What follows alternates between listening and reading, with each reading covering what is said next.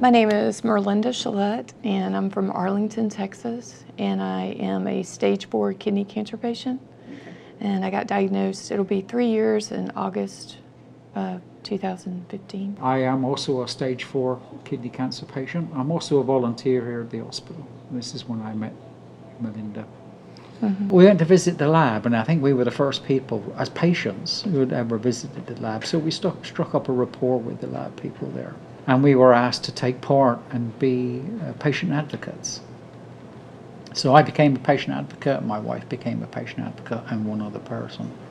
And um, so that started our involvement with, with Dr. Brugarolas. He basically asked us if we would take it one step further and become a volunteer in, within the clinic and, and come in and volunteer and, and basically do what I did with Melinda, and that's talk to Yeah. them, inform them, alleviate their fears, especially if they're um, relatively new to the game. The cool thing was, I came for my next appointment, and he was in the waiting room passing out nourishments, That's right. yeah. refreshments, I Part guess. of my duties.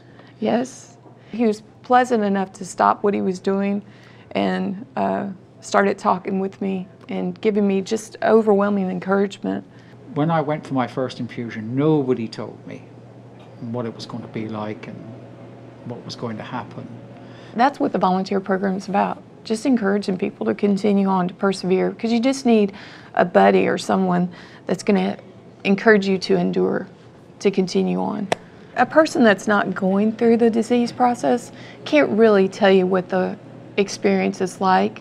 But when you meet a fellow cancer patient with the same kind of cancer you have, and they are walking this journey uh, the same as you, it's just, it's, it's, it's such a piece of comfort to meet a fellow cancer survivor that is walking the same journey you are. When, when I first started volunteering, I didn't think I was going to make any difference uh, whatsoever. But after being here for, for six months and interacting with the other patients, uh, I, I do realize now that you do make a difference.